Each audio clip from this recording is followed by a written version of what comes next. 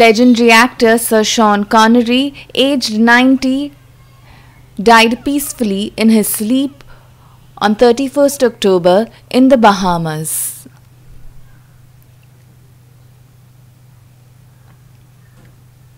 His son, Jason Connery, said when his father died, many of his family members were with him. A private funeral ceremony will be held.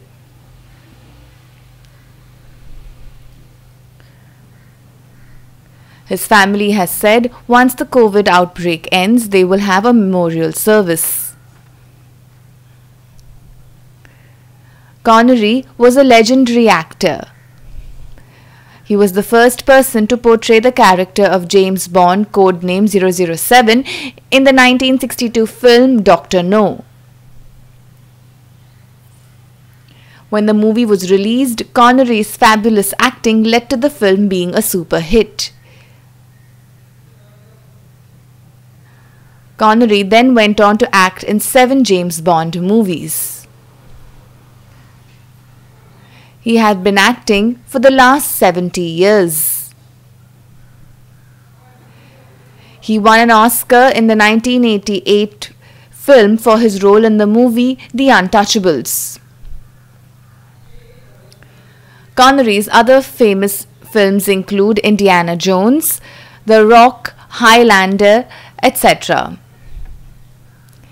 Daniel Craig, who is the current James Bond, said, Sir Sean Connery was the best James Bond. His style and method of acting was an inspiration to the younger generation. His movies will continue to influence the next generation.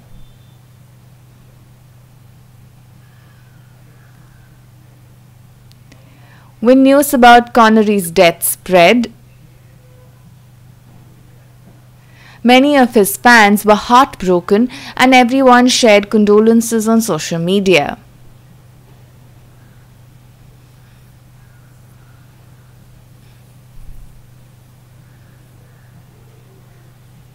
Connery is survived by his wife Micheline and son Jason.